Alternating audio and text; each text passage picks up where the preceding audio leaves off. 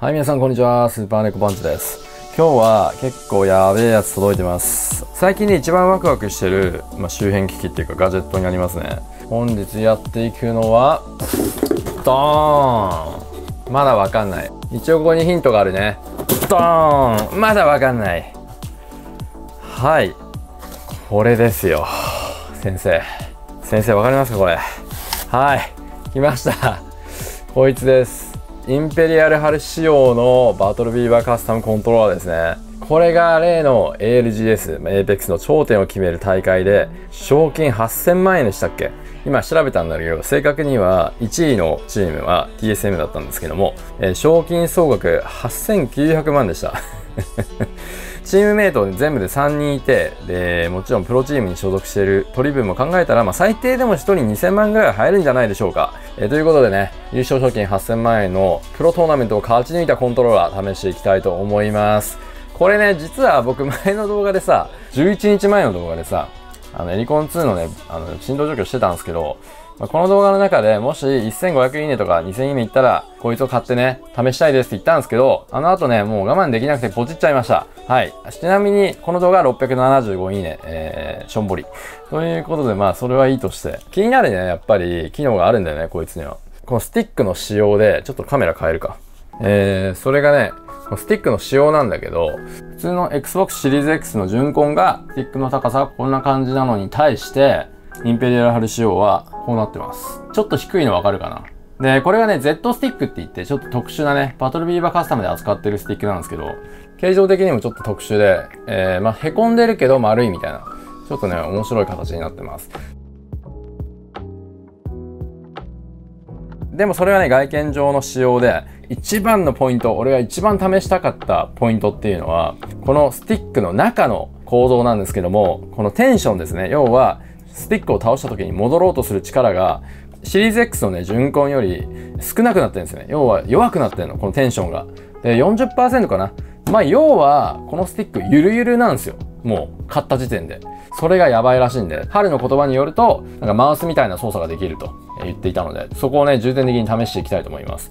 スティックの使用以外にちょっと特殊なところが、全部マウスクリック、これ。十字キーも同じ。で、あとは、この上のボタンですね。バンパーいじってないんだけど、このトリガーね、マウスクリックです。だから、ストロークも全然ないですね。マウスクリック。で、えー実際のインペリアルハル仕様っていうのは、この背面ボタン本当はないんですけど、僕今回つけました。なんでつけたかっていうと、俺が必要だから。ただ、もちろんインペリアルハルの持ち方、えーいわゆるモンハン持ちですね。背面ボタンを必要としないモンハン持ちも試してみます。うん、だから COD のプロとかがやってるスタイルで、ハルはプレイしてるんだよね。まあでもね、もちろん背面使った状態でも試していこうと思います。まあ、肝はね、このゆるゆるスティックがどれだけ、え効果的なのかっていうのを試していきたいですね。ちなみにこの外観も、えー春のコントローラーに合わせました。まあ、正直、かっこいいかっつったら、まあ、ファンキーな感じだよね。どっちかというと。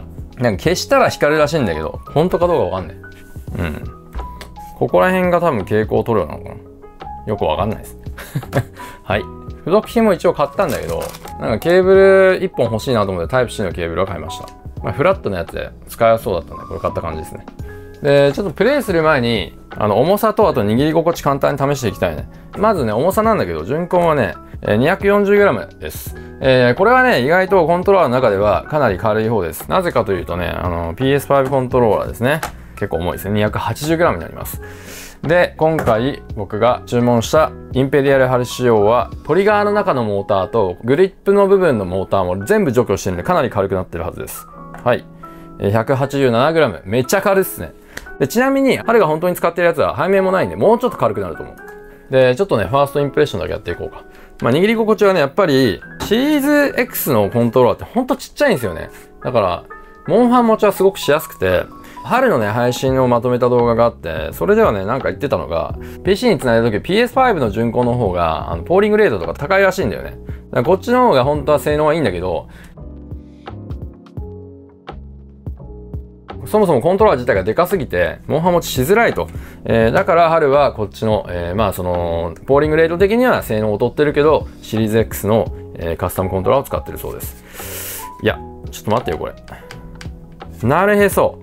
あ、これかなりマニアックな話にはなるんですけど、こう普通持ちってこうじゃん。だから親指の付け根ってここのベースの部分が結構触れてるのね。要はベースの部分が触れてて安定してると思ってください。でも、えー、モンハ持ちにするとこう浮きます。浮くと、えー、ここがね、ベースの部分のそのグリップに触れてる面積が減るのわかる普通持ちの方が親指の付け根の部分が触れてるじゃん。で、モンハ持ちにすると浮くからちょっと不安定になるのね。それが、こいつに変えることで、このスティックが低いから、ちょっと解消してます。で、プラス、この Z スティックの表面の、このエッジの部分、このエッジの部分がなだなだらかになってるでしょ、ここ。それが、えー、まあ、スティックが低くなったのと、このエッジの部分がなくなってるので、だいぶスムーズに持てるような気がしますね。えー、これ面白いな。あ、これ使いやすいん絶対。ここがスムーズだもん。この親指のこの動きがすごいスムーズだもん。何の抵抗も感じない、これ。角が取れてるから。これはね、こう動かすたびに、この親指にかかる圧の場所が変わるんだよね。ただこう行くと、こっちに圧かかってて、こう行くと、こっちに圧かかってんの？その、プレッシャーポイントがこう変わる感じ？うん。点でコントロールしてる感じに対して、この Z スティックはもう面で、なんか、面だな、本当に。親指全体で比較的コントロールしてる感じが強いです。で、えー、あ、なるほど。モア持ちはね、人差し指で全部のボタンを押すんですよね、このフェイスボタン。いや、マウスクリックになることでめちゃくちゃしやすくなってます。で、この表面もね、なんかちっちゃい飴みたいになってて、こう丸いんだよね。すっごい押しやすい。こう連打しても痛くない。あのー、順根はね、意外と、リアクションタイムがちょっと必要な気がするんだけど、こっちだと、すごいね、レスポンスがいい感じで押せますね。やっぱトリガーも同じだね。トリガーもこう、中指でみんな押すから、すごい軽い力でいきますね。もちろんプロの人ね、一部ね、これ、順根でも、このトリガーの状態でも、え使えてる人いるんですけど、やっぱり、押し込むこのストロークが長いから、モンハン持ちだとね、こう、結構大変だよね。それに対して、えー、このカスタムコントローラーここがマウスクリックになってるんで、ちっちゃい動作で射撃できるんで、連射もしやすいです。やっぱりインペリアルハイルこだわってるだけあるわ。ちょっと興奮して喋りすぎてるんで、実際試していきたいと思います。はい。でね、ここまで見てくれた方、まだね、チャンネル登録してない方、よかったらチャンネル登録と高評価よろしくお願いいたします。それじゃ、次。ちょっとね、あのー、射撃訓練場行って軽く試してみたいと思います。ちなみにちょっとインペリアルハルのね、あの、設定っていうのが確か、間違ってたら訂正してほしいけど、43リニアなんですよね。で、確かスコープ設定も多分してなくて、デッドンなしで、えー、確かしゃがみボタン切り替えだったかな。若干キャラコンはしづらいね。だから本当に古き良き COD って感じなのね。ちょっとこれで言ってみるか。まあ問題はないな。ちなみにこれ人差し指ってどこだっけ？こうやって置いてるのか、こうやって置いてるのか分かる人いたら教えてください。これもね、あの人によって違うんだよね。こうやって置いて安定させる人もいれば、こうやって置いてね、普通に持つ人もいるから。やっぱりこのストロークがちょっと長いのが気になるっちゃ気になるな。単発武器だったらどうなるかな ?P20 とかだったらどうなるかな？まあ、ちょっと大変になるね、やっぱり。じゃあちょっと、今回の春仕様のね、バトルビーバーカスタムいきます。これ楽しみやな。まずは、おー、ゆるい、マジ？ゆるい。あー、なるほど。スティックドリフトは、まあまあ、まあ普通だな。うん、ちゃんとやっぱバトルビーバーちゃんとね、ここら辺はやってるみたいで、スティックドリフトあんまないですね。いや、これは、なるほど、なるほど。あ、ゆるいな、確かに。あ、これだったらリニアでちょっとエイム追いつかなかったってなくなるかもしれないですね。あ、これ、言っていい？全然あり。要はさ、戻る力って最小限でいいよね。このね、左右のスティックの動きに制限をかけるような、えー、テンションは下げようぜっていう、そういった発想だと思うんだよね。ゆるいけど全然問題ないな。あ、いいっすね、これ。ああ、これ面白いなこの発想なんだね。疲れないと思う、あと、指が。うん。指疲れない、こっちの方が。慣れる時間が必要とか思ってたけど、全然いらない。で、ちなみになんですけど、あのー、気になってる人いるかもしれないんで、ちょっと一応お伝えすると、モンハン持ちした時って、後ろのボタンには、ほぼ干渉しないんで、あのー、全然問題ないです。で、ちなみにこれ、あのー、リマッピングチップ入ってるから、これ、無効化することもできるね。で、外すこともできて、外すと、突起がね、だいぶなくなるんで、ここになんかシールドが貼っちゃえば、ほぼ触れないようになりますね。あとね、このちょっと特殊なね、ブツブツのこのスイッチカスタムした人は、普通のやつもね、ついてくるんで安心してください。ちなみに P2020 もね、やっぱ連射しやすくなるの見てて。強っ。これに関してはマジで、マウストリガー、スマートトリガーかな？やばいですね、これ。マジで強い、これは。で、細かい操作しやすいな。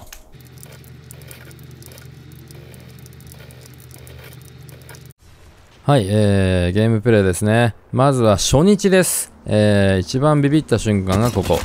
このヒューズをフラットラインで打ったとこね。これ、フラットラインちょっと苦手ではあるんですけども、特にこの距離でね、レレルされたら、普通はこんなに当たらないんですよね、僕。めちゃくちゃリコイルしやすかったっす。あれ？これスティック柔らかいからかなと思って、びっくりしましたね。で、この時はモンハン持ちでやってますね。ここも、初日ですからね、当たってるよね。えめちゃくちゃ合ってます。だからもう初日からポテンシャルすごい感じました。この Z スティックもね、やっぱ低いからモンハン持ちしやすかったですね。これも見て。もう気持ちいいよね。ただただ。はい。だから初日からこれだけ、えー、手に馴染むのはすごいなって思いました。で、初日のこのデュオかな。えー、ちゃんとね、最後の1パも当てて、チャンピオン取りました。いや、マジで気持ちよかったっすね。あ、このコントローラーやばくねってなりました。はい、そして次の日の、これはトリオかな。ソロトリオ行った時ですね。これもほぼ3立てみたいな、もうすごい気持ちいいやつ。うん。はい、3人と。ということでね、これが2日目かな。これで終わりですね。そして、えー、数日後ですね。これは数日後のクリップなんだけど、これもほぼ3立てみたいなのができました。えー、まず1人目。え、マジで気持ちいい。これ、モア持ちですね、ちなみに。で、これね、クリップ全部43リニアの、えー、デッドドンなしでプレイしてます。で、えー、他はね、L2R2 打ちですね。あ、まあ、トリガー打ち。で、遠距離もね、スティック短いからって当たんないわけじゃなくて、普通に当てれてます。やっぱ Z スティックが丸っこい表面で滑らかなんで、こういうドラッグショットみたいな、ドラッグショットみたいなの当たるんですよね。で、もちろんスティックが短いので、近距離ですね、これ腰打ちとかもすごいしやすいですね。えー、これはまあフリークつけたことある人わかると思うけどね、長くしすぎるとね、今度は、えー、近距離、打ち合いね、弱くなりますからね。からすっごい面白かったです。だからさ、今世間ではどっちかというと、ね、スティックにフリークつけて長くして、で、スティックにスポンジつけて硬くしてってやってんのに、やっぱりインペリアルハルはね、一味違って、短くして柔らかくするんですよね。いやー、全然ありだなって思いました。そして、えー、結構ね、長時間ね、ランクとか回して気づいた点が、このゆるゆるスティックですね。40%のゆるゆるスティック、テンションが低いスティック。これの一番の利点は、長時間プレイしても親指の付け根が疲れない。あのー、FPS 長時間やるとスティック操作で疲れるんですよね、親指が。それがなかった。これが一番衝撃でした。だから、例えば、プロゲーマーとかさ、すごい練習するじゃん。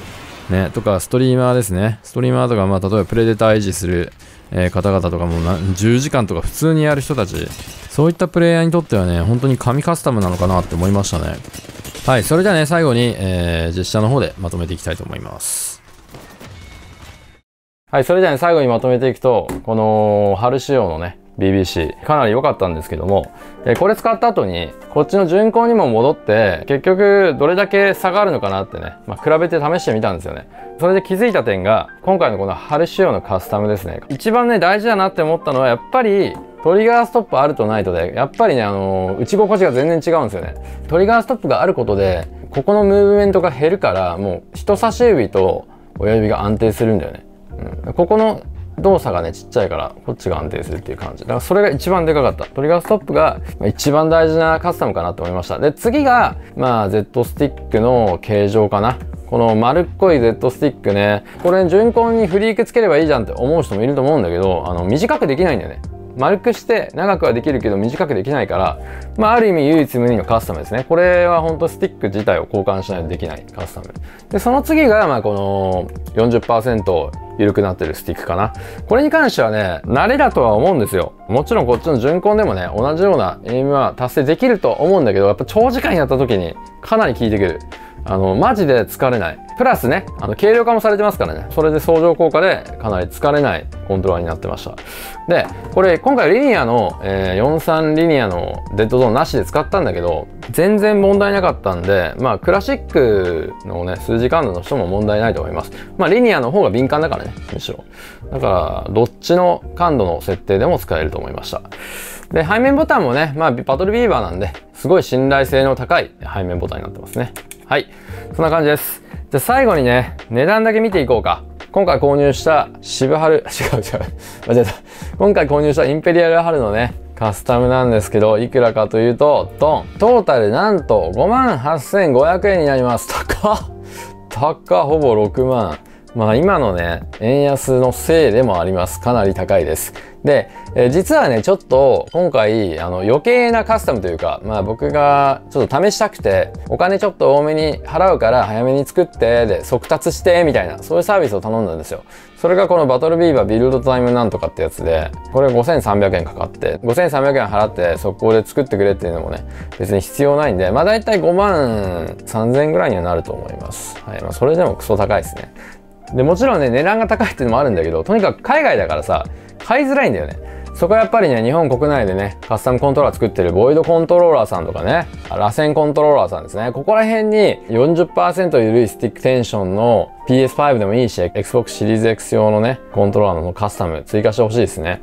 Z スティックはどうだろうわかんない。特許的なものがあるかどうかわかんないけどね。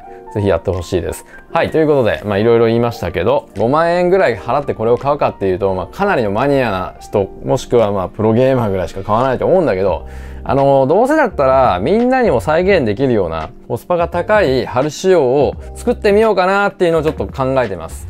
まあ、Z スティックね、一応単品で売ってんだよね。それ買ってきてね、バトルビーバーから。で、トリガーストップつけれるやつあるらしいんで、それで改造して、あと振動除去して、みたいなね。まあいろいろちょっと考えてね、えー、どうにかしようかなと思ってます。えー、もしね、そういった動画興味がある方はぜひね、高評価入れてってください。いくらで春仕様、なんちゃって春仕様作れるかちょっと気になるんでね。ちなみに、あのー、脱背面ボタン俺ちょっとしたくて、最近。背面ボタンのコントロール高いからさ、ちょっと出す背面ボタンできたら面白いかなっていうのを考えてるよね。はい、ということでご視聴ありがとうございました。よかったら皆さんの感想も、えー、教えてください。それではまた次回の動画でお会いしましょう。じゃあね